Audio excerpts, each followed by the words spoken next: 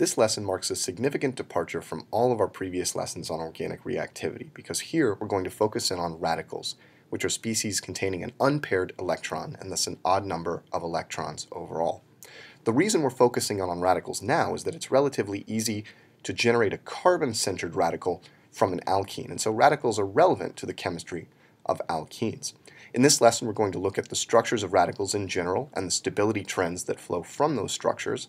We're going to develop some new conventions for showing how electrons move in radical reactions, some of which we've actually already seen in previous discussions of mass spectrometry.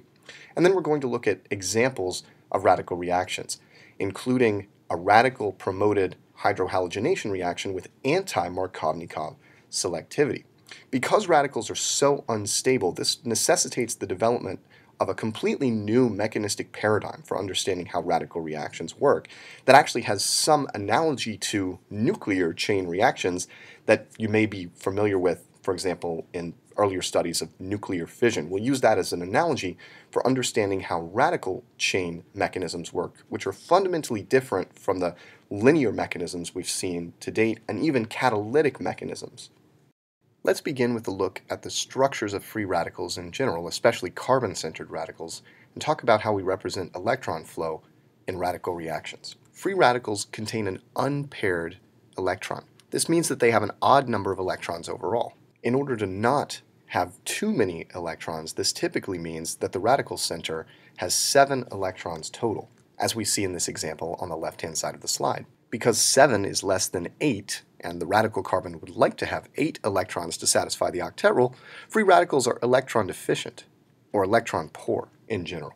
Their structures and stability trends reflect this, and the closest analogous structure is one in which the radical electron is simply missing. This would be a carbocation. Let's briefly review the structural properties of trigonal carbocations. So what I'm going to do is turn this carbocation structure on its side so that one of the R groups is pointed out towards us and the other is pointed back away from us. Carbocations with three R groups have this trigonal structure, meaning they're sp2 hybridized, and the empty orbital that sort of corresponds to the positive charge is an atomic 2p orbital. This is really the site of electrophilicity or electron accepting behavior of a carbocation. Nucleophiles approach above or below the plane of the carbocation to overlap efficiently with one or the other of the lobes of this p orbital. Carbon radicals with three R groups have an analogous structure. And just to emphasize this point, here is a calculated structure for the tert-butyl radical in which the radical carbon is connected to three methyl groups. This orbital that's shown in the center is the half-filled orbital of the radical. And so this green dot I'm drawing here signifies the radical electron here. In the radical, this orbital is half-filled, meaning it contains one electron.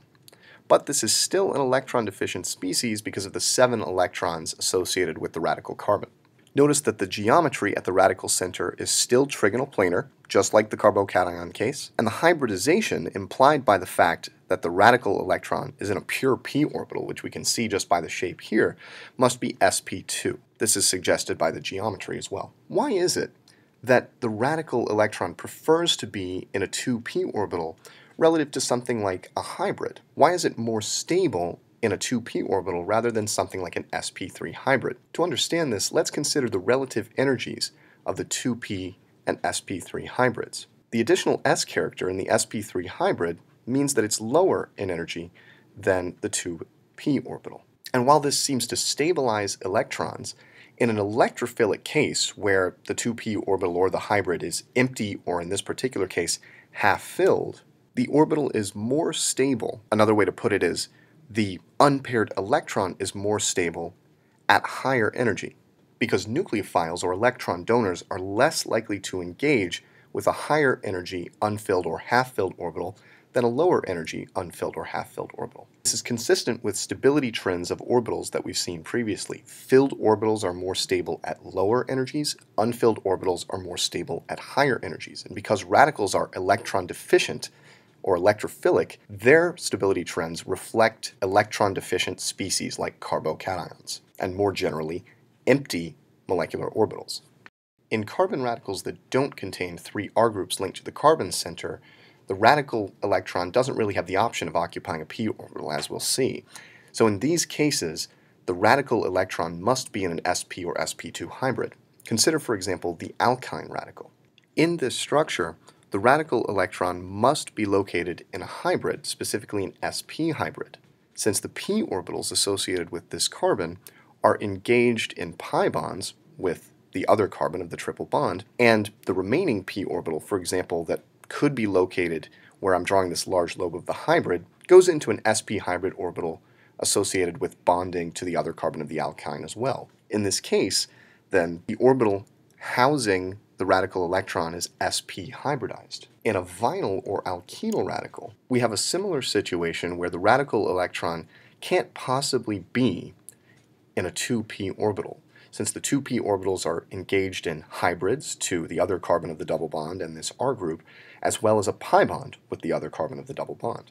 This means that the radical electron in this case must be located in an sp2 hybrid orbital now.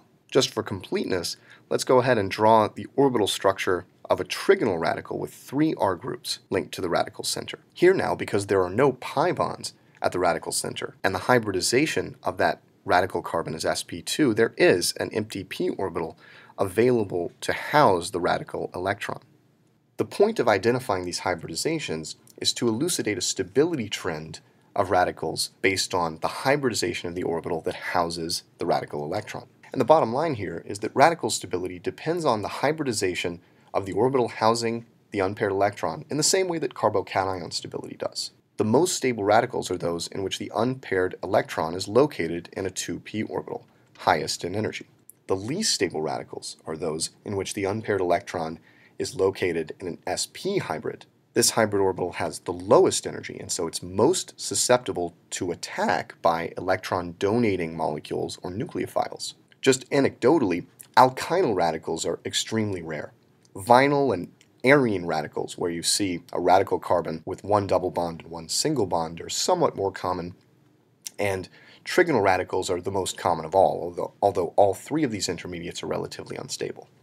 Finally, let's talk about how we represent electron flow in radical reactions. Most curved arrows in organic chemistry show the movement of two electrons, but if we leave out part of the head of a curved arrow, by convention, that represents the movement of a single electron and you'll see these a lot in radical reactions. Often, a lot of these arrows are needed to show completely electron flow in radical reactions. And here we're going to list these, and one point I want to make from the outset is that we can organize these different types of electron flow by thinking about the half-filled h orbital as an important NBO. And we'll use that as we enumerate the flows here. The first type of electron flow you'll see in radical reactions is homolytic bond cleavage, and this is simply the cleavage of a single bond between two atoms with one electron going to each atom involved in the bond. The reverse of this is the coupling of two radicals to form a new single bond, like we see on the right-hand side of the slide. And this is shown by showing both radical electrons heading to the space between the two radicals, signifying the formation of a new bond. Radical additions to pi bonds are also possible and this is somewhat analogous to the ADN elementary step, but requires a few more arrows, since we need two arrows to show the formation of the new single bond, and an additional third arrow to show the fate of the other electron involved in the pi bond. Notice that the product here contains a new sigma bond, in this case between bromine and carbon, and a new radical has been created. In essence, the radical character has shifted from the bromine radical onto one of the carbons of the alkene. Finally, we can also think about radical addition, quote unquote, to a sigma bond. This isn't really an addition reaction because the sigma bond breaks, but the electron flow is analogous to radical addition to a pi bond in that a new sigma bond is formed and the bond, the sigma bond now between hydrogen and chlorine here, breaks. Three arrows are needed once again since we're forming a bond and breaking a bond using single electrons. And notice that here as in the case of radical addition to a pi bond, the radical character has shifted from a carbon-centered radical onto chlorine. Using the letter H to represent the half-filled orbital containing the radical electron, we can label these latter three electron flows. This looks like H to H with two half-filled orbitals coming together. Here we have pi to H with a pi bond engaging with the half-filled orbital, and here we have sigma to H with the sigma bond engaging with the half-filled orbital. These four types of electron flow account for all the elementary steps that we'll see in radical reactions.